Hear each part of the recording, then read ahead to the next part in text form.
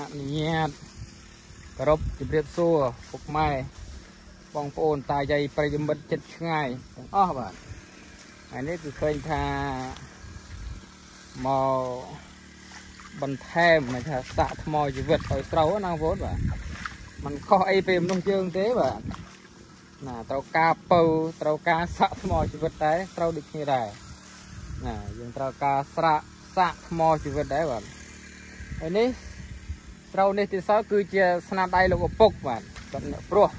អ្នកខ្ជួបាទហើយដល់នោះចំបាទក៏មិនទាន់អឺលេខចាក់សខាទេបាទនេះបងអូនកំពុងតែសាកថ្មឲ្យស្រូវបងប្អូនបាទខាងក្រោយខ្ញុំនេះបាទ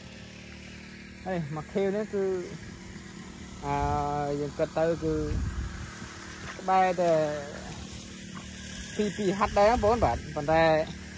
យើងមិនទាន់បានធ្វើអស់បាទណាប្រៃក៏យើងទុកទៅអាចថាទុកថែរក្សាខ្លះខ្លះហ្នឹងបងប្អូនបាទឲ្យមានដើមឈើឲ្យមានអុកស៊ីសែនបាទឲ្យនៅបាទចឹងទៅ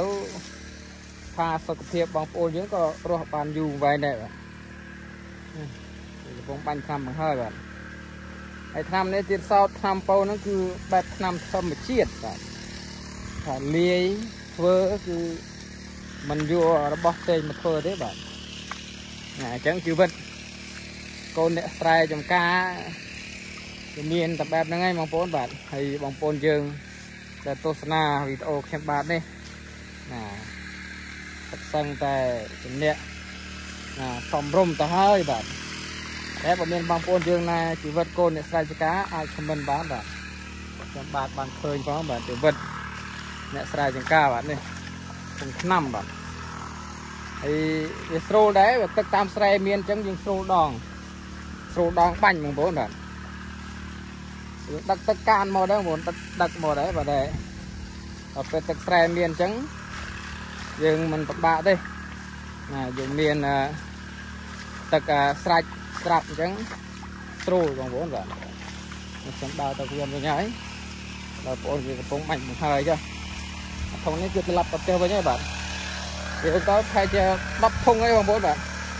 វារួចជាស្ថាពោហើយបាទនេះបងប្អូនមើលហើយមកវាទៅវឹង